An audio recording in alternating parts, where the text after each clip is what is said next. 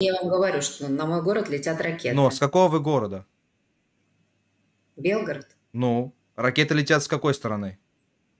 С какой? С Украины. С Украиной? А до 24 февраля в ваш город что-то летало? До 24 нет. Может, вы задумаетесь, что летит? А что летит? Мы опять Нет, не себя... что летит, а, мы говорю, может, вы задумаетесь, что летит? Но задуматься нужно вам. Нам задуматься. То есть вы на нас напали, задуматься нужно нам, да? Ну, это вы так считаете, что мы на вас напали. Нет, не мы так считаем, так считают все. Только Россия считает, что вы на нас не напали. А вы на нас не нападали, мы сами собой воюем. Когда Да. армия одной страны вторгается в чужую страну, это не нападение? Это конфликт. Когда армия одной страны вторгается в чужую страну, это не нападение? Конфликт начался давно? Давно.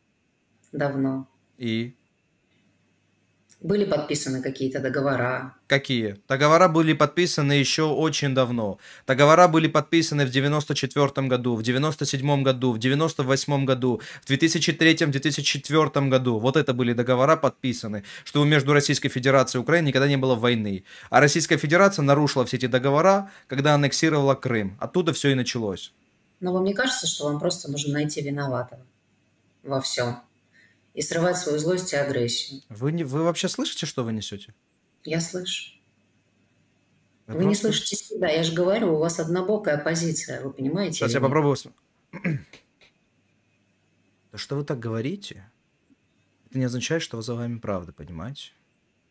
Когда у человека в стране нет войны, и он включает хладнокровие, и говорит таким образом, это ни о чем не говорит, понимаете меня? Я тоже могу вот так вот часами с вами говорить. Но от этого ничего не поменяется. Если вы хотите мне рассказать, с чего все началось... Куда? Куда? Я ж только зашел в роль, блядь.